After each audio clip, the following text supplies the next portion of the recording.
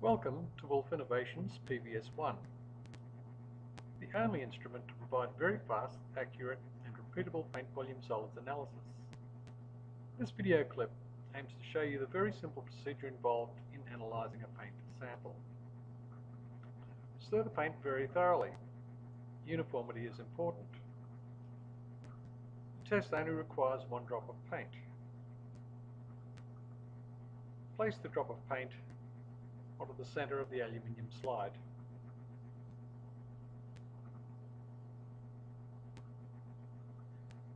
And spread the drop to a uniform film thickness with the special drawdown tool provided.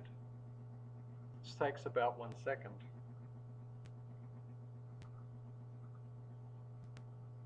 Place the slide on the machine's sample holder and initiate the analysis cycle with the press of a button.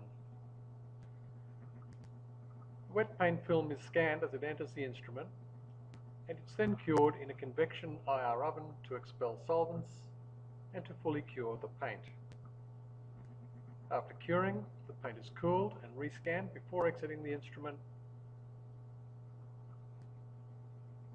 and volume solids is calculated and displayed immediately. The results are stored in a permanent and exportable database.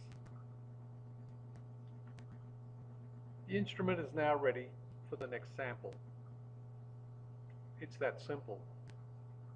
Wolf's PVS-1 is a basic must-have instrument for paint usage optimization and for effective paint management.